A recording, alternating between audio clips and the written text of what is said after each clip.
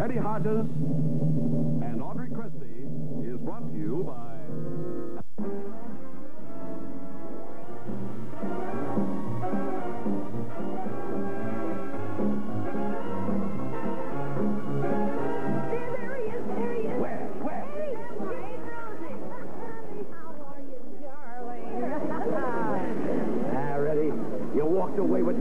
show. You were beautiful up there.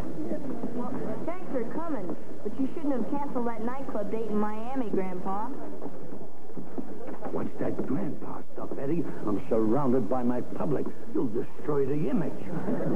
Look at him, Jimmy. A graduate with a diploma and long pants. Oh, seems like only yesterday I was washing behind your ears. It was yesterday, Aunt Rosie. What are you complaining about? She's still looking behind mine. Well, somebody's got to look out for you, too. Come on, let's go home. I need a cup of hot tea. And a dry handkerchief, too. Could you wait a minute, please? I want Miss McNamara to autograph my graduation program. That's only fair. Someday she'll be wanting yours. I'll only be a minute. Rosie, I got a graduation present for that kid that's burning a hole in my heart. Oh, come on, Jimmy. You tell me what you got him, and I'll tell you what I got him. No deal, Rosie. If I told you, it would only make your present blush with envy. A chemical set. With a Link Derringer microscope. Aunt Rosie, it's sensational. Oh, I'm so good. It's a very powerful scope. The man who sold it to me said that you can examine algae and chromosomes and parameciums. Parasitium. Thank goodness you don't hear that kind of language from me. I'm going to take this right upstairs and put a slide under it. Sit down a minute, Eddie. After you hear what I got for you, you won't want to play with those toys. What is it, Grandpa? Yes, for heaven's sake, what is it? My boy, take a look at this. Your first contract. Contract? For what? That's the piece of the resistance, Rosie. Between the party of the first part and the whereas to wit of the second part, it says that Eddie has got a deal to co-star with me in a television spectacular. Jimmy. But, Grandpa, We start rehearsing bright and early tomorrow afternoon. I could read the small print. I wouldn't try to put any loopholes around my own grandson. Jimmy, as long as I have anything to say in this house, there are going to be no contracts and no television shows for Eddie. He's going to school. He needs more. Jimmy, he's just starting. He has four years of prep school, then another four years of college, and maybe another four years of graduate work. Hold it, hold it. By the time he finishes the last four years, he'll forget everything he learned in the first four years, and then he'll have to start all over again. Eddie's got brains, and he's going to school. Eddie has got talent, and he's going on the stage. He is not going to sign that contract. My boy, I want to be fair and democratic about this. Whatever you decide, that's the way it's going to be. After all, you're 13 years old and not a kid anymore. well, Come on, Eddie, speak up. I'd sure love to do that television show with you, Grandpa. There you are, Rosie. Unconditional surrender. Let him finish. There she goes again. But I love school very much. Besides, all my best friends are going to Millerton. It's a swell prep school, and it's got a wonderful science course. And maybe when I'm finished, I'll be able to get into MIT. MIT? The Massachusetts Institute of Technology. It's the finest college of science and engineering in the country. My boy, let's get a couple of things straight. I'm not doing this for myself. I'm doing it for you. Jimmy, you said you'd let Eddie decide. Rosie, let's be practical. He's only a 13-year-old boy. What does he know? No offense, son. I think I know what's best for you. Grandpa, I know show business can be a wonderful life, but I want to go to school. How about it, Jimmy? I see it now. Two against one. It's mutiny. Undivided, conquered, and reduced to a shambles. Jimmy, there must be a lot of boys who'd give anything to work that television show with you. What am I supposed to do? Hold an audition for a new grandson? I didn't mean to let you down, Grandpa. Well, that's all right, son. Forget it. If you want to go to school, you go to school. Well,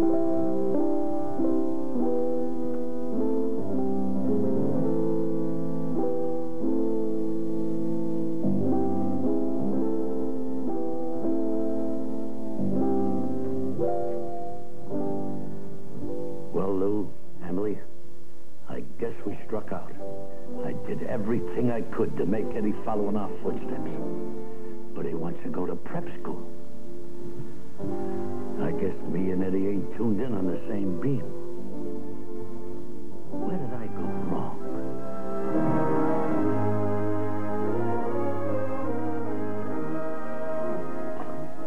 Well, this is quite a day for us. Bannister at Millerton. It's a big day for me, too, Mr. Devine. By the way, where's Mr. Bannister? I look forward to meeting him. I've been a fan of his for years. Well, I'm sorry, Mr. Devine. He couldn't make it. He had other plans. He's auditioning another grandson. I beg your pardon? Well, Mr. Devine, to put it bluntly, my brother isn't thrilled about Eddie enrolling at Millerton. He wanted the boy to go into show business with him, but, well, he's left the choice to Eddie. Your school records indicate that you have consistently high grades. However, I want to warn you that our scholastic standing here at Millerton is very high, and our entrance examinations are considered pretty stiff. When do I have to take it, Mr. Devine? In two weeks. That should give you ample time to prepare. Oh, that's plenty of time for Eddie. Fine. Well, I think he belongs here at Millerton. I'm sure your brother will come around to seeing it our way. I hope so.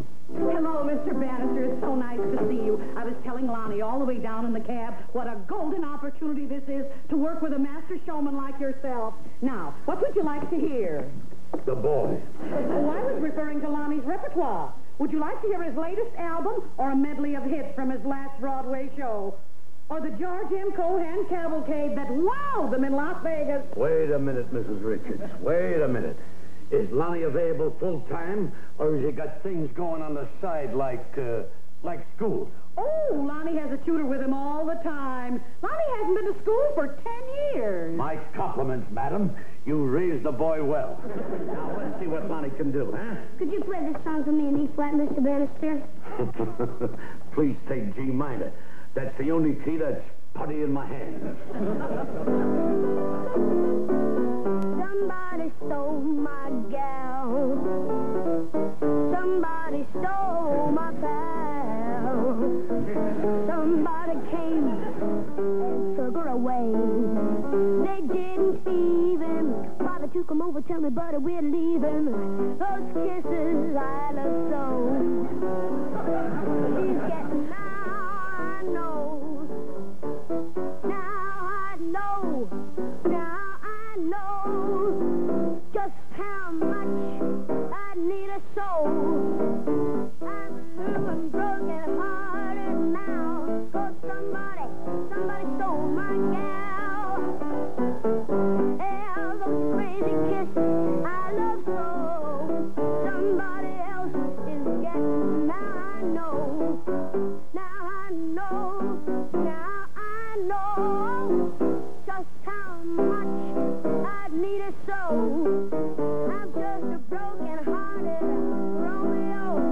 Romeo. 'Cause somebody, somebody stole my gal. Once more, once. Yes, somebody, somebody stole my gal. Once more, twice. Yes, somebody, somebody stole my gal. Thanks, Lonnie. Thanks. That was very good. Very good. We'll be in touch, huh? I hope you'll let us know as soon as you can, Mr. Bannister. We can't hold off Ed Sullivan much longer. Come along, darling. Well, Jimmy, what do you think? That's the boy, right? He's great. Really great. But it's not just what I want. Jimmy, we've auditioned seven boys already. The deadline's getting closer every minute. Listen, Chet. I'm the one who has to work with him. And if he hasn't got it, it's murder. Grandpa? Not now, Eddie. We got a crisis on our hands. And what's that grandpa when not alone? I want to do the spectacular with you. Listen, Chet. Just tell me one thing. What did my grandson just say? I said I want to do the spectacular with you. Now, wait a minute, kid. Wait a minute. Don't mix me up. What about your exam at Millerton? I've thought it over. I could do both. I know I can. Now, look here, kid. Going to school is one thing, but doing a big television spectacular at the same time is a can of beans of a different color. I can do both. I know I can. I'm not afraid. But I'm afraid. I'm the one who has to face your Aunt Rosie. Why, when her motor starts boiling over, she's a swinger. Let me talk to her. How do you like that? He's not only got talent, he's got guts. You know something else? What's that? I sing in G minor. Well, what are we waiting for? Boy, we got the world by the elbow. what a day, what a day, what a day. The bells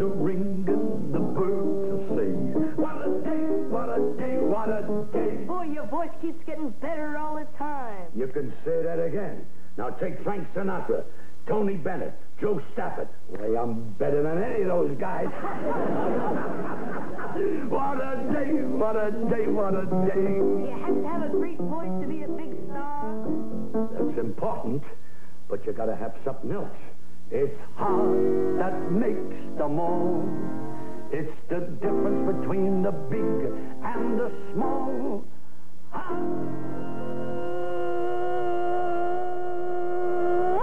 What a beautiful note. Why, if they hadn't have cut off my curls when I was a kid, I'd have been another Lily Pons. Just like the man from the start. That's the song gotta come from the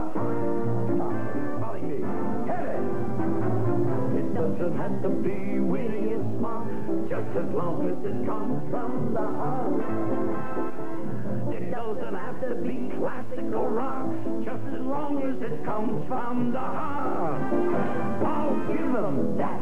I'll give them this. I'll cut away. You can't miss. I just put a star on the chart. Why, if the song's gotta come from the heart.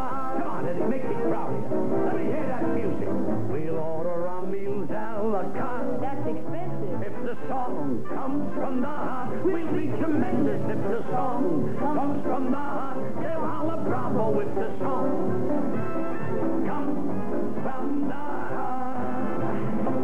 You were great, great, great. What's the matter, Grandpa? Don't look now, Bill Bailey just come home. I turned my back for one minute, and look what happened. Well, I'll be running along. I'll uh, see you later, Jimmy. Wait a minute, I'll get my coat and go with you. You're not going anywhere. Rosie, you should have heard the boy. He's a blockbuster. I couldn't ask for a better partner. Yes, well, he's going to be a silent partner. Please, Aunt Rose, don't blame Grandpa. It was my idea to do the show with him. Yes, and I'll bet your grandfather fought against it until he was blue in the face. Rosie.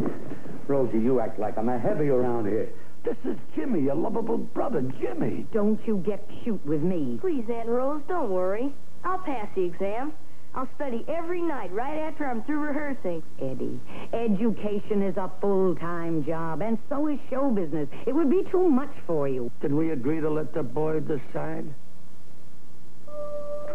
Please, Aunt Rose. Please, Aunt Rose.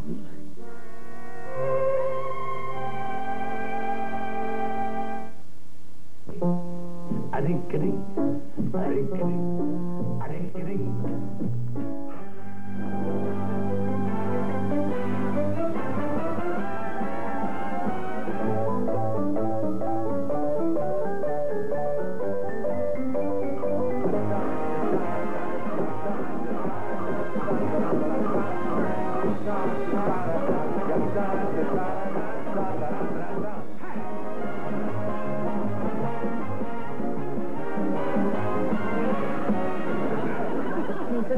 Connecticut, Virginia, Georgia. Well, that's four of the original signers of the Constitution. We've got nine more to go. Hey, Eddie, aren't you in on this? Hey, Eddie. Holy mackerel.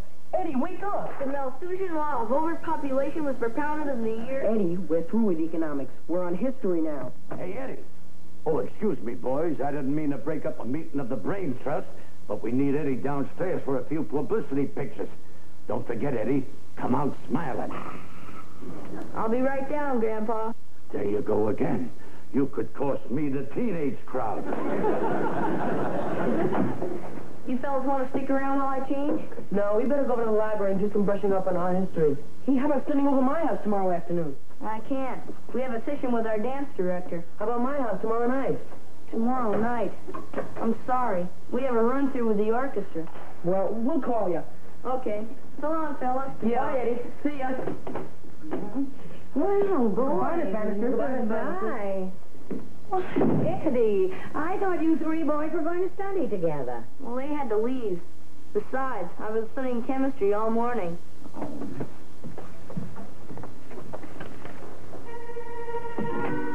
Jimmy and Eddie enter stage left. That's chemistry? Eddie, come on. Sit down. Let's be honest with each other. Now, you've hardly looked at a book since you started rehearsing. I thought you wanted to go to Millerton. I do, Aunt Rose. Well, then why are you passing up the chance? Millerton is more important than any show. Please, Aunt Rose. I can take the exam next year. Next year. Eddie, do you know what's going to happen the morning after that spectacular? This phone won't stop ringing. There'll be offers from all over the country. Nightclubs, record companies, more television shows. What are you going to do, Eddie? Study arithmetic on the plane to Las Vegas? Get a move on, kid. Never keep the gentleman of the press waiting. Well, Eddie, I'm sorry, Aunt Rose.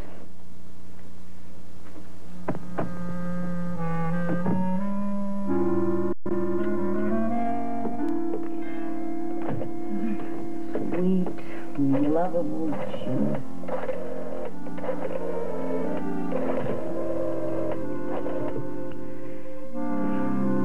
Millerton, may I speak with Mr. Devine, please?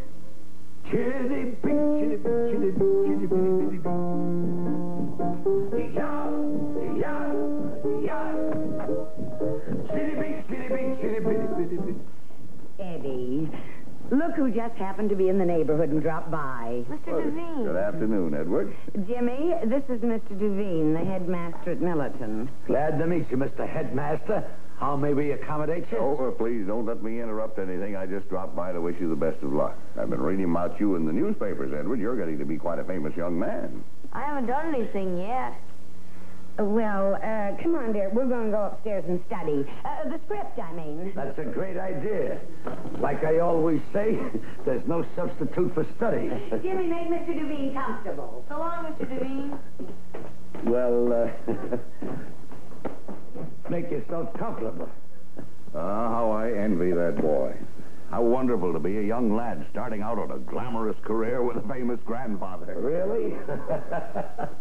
you mean my reputation has busted through the cloistered walls of learning? Oh, indeed it has, Mr. Bannister. You know, as a matter of fact, I remember seeing you at Domino's in Coney Island in, let me see, 19... Wait a minute, Mr. Duveen. Don't be a year dropper. Oh, sorry, Mr. Bannister. Just call me Jimmy. Oh, thank you. Those were your formative years, eh, Jimmy? Yeah, my salad days. Why, I used to go three days on one salad. I got a million of them, a million. Why, in those days, I used to work honky-tonks, beer joints, Chinese weddings, block parties, and you know something? With all that work, I still had to make an extra ten dollars a week just to be poor. Sounds very exciting. Only when you're looking back. Ah, Confidentially, I wouldn't wish those days on my worst enemy. Or your favorite grandson? Don't worry about Eddie. I started down here, but not Eddie. He's starting at the top, right here amongst the tremolos. You know, Jimmy, I've always admired your piano playing. I imagine with a little study you could have become an accomplished pianist. That's within the realms of possibility. like I used to say in one of my numbers, there's Toscanini, I Turvey and me. We are definitely the big three. Toscanini, I Turvey and me. Just a fleeting dream. Sounds like a wonderful dream. Where did it get lost?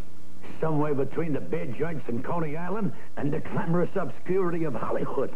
I hope Eddie doesn't lose his dream. Don't worry. That dream is all laid out. Stardom, fame, and fortune. That's your dream, Jimmy. What about Eddie's? Big league baseball player? Jet pilot? Nah, Eddie has got his feet on the ground. He wants to be a scientist. You should have seen the way he flipped over that microscope his Aunt Rosie gave him. Why, Eddie is... Yes,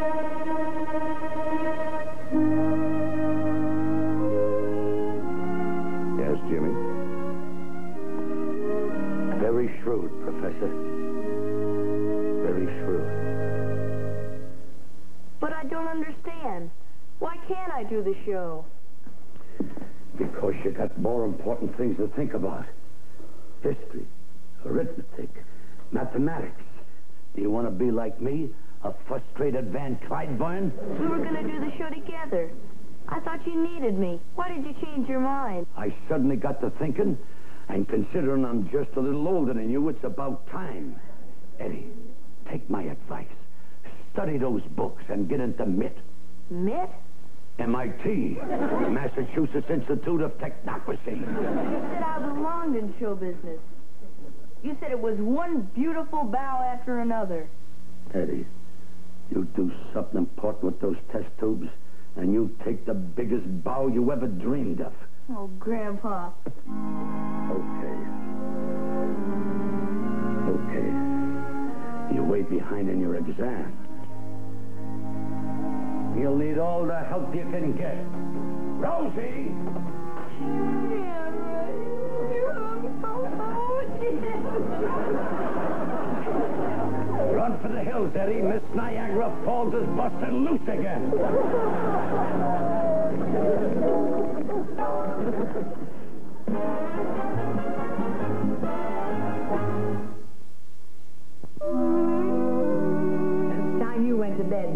Get you a glass of milk. Okay, Aunt Rose. Well, good night, Grandpa. Come here, Eddie. Sit down. Eddie, I hate to keep popping about that grandpa business, but there must be something else you can call me. Well, how about what everybody calls you? Jimmy. No. No, that wouldn't sound right coming from a grandson. Um, James. Nobody ever calls me James, only my enemies. Mr. Bannister. That's ridiculous. You ain't my butler. What should I call you? You better call me Grandpa. I guess we're both stuck on it. Come on, Eddie. Good night, Grandpa. Good night, Eddie.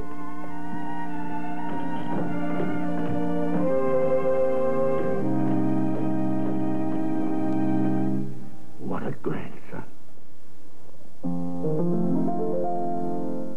Fairy tales can come true.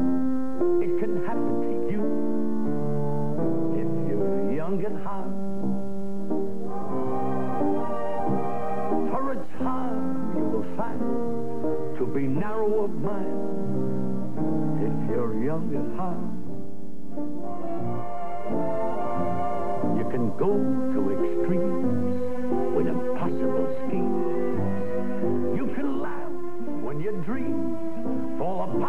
seams. And life becomes exciting with each passing day. And love is even in your heart or on its way. Don't you know that it's worth every treasure on earth if you're young at heart?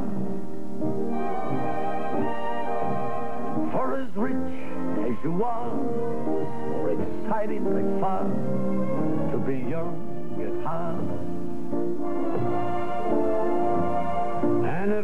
should survive to hundred and five, look at all you'll derive just by being alive. Now here is the best part. You have a head start if you are amongst the very young at heart. The General Foods Summer Playhouse has been brought to you by Birdseye for excitement in vegetables, SOS Blue Soap Pads, and Tang Instant Breakfast Drink. All fine products of General Foods.